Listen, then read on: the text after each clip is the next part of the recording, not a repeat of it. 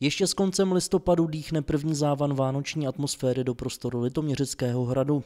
V sobotu 29. listopadu zde proběhne vánoční jarmark, ručně vyráběné šperky, malované vánoční ozdoby, perníčky, vánoční dekorace, čaje, koření, vazba květin, tvořivá dílna pro děti, výroba ručního papíru i živá zvířátka na nádvoří hradu. To vše bude k vidění a k mání na hradním adventu. Doprovodným kulturním programem navíc k první adventní pohodě přispějí například mladivadlo, pěvy pěvecký sbor Hlásek, divadelní spolek Loudidlo nebo flétnový soubor základní umělecké školy. Bude program, který eh, zahrnuje, zahrnuje eh, nějaké, nějaké zpívání, koledy, eh, divadíl, vystoupení divadel.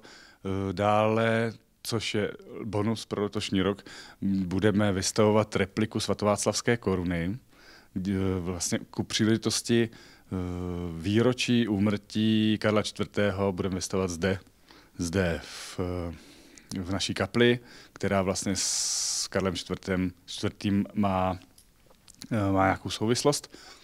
A poté, kdy bude jarmar končit, tak budeme, bude páter, pan páter Davidek zde bude sloužit mši, zádušní mši za, za Karla IV., která bude teda veřejnosti přístupná ale musím zmínit, že eh, vlastně ta kapacita toho salonku tady je velice omezená, ale dostane se vlastně na všechny, protože budeme přímým přenosem přenášet ten, ten, eh, ten průběh té, té mše nahoru na sál, takže kdokoliv bude mít zájem, víceméně může být té mši přítomen.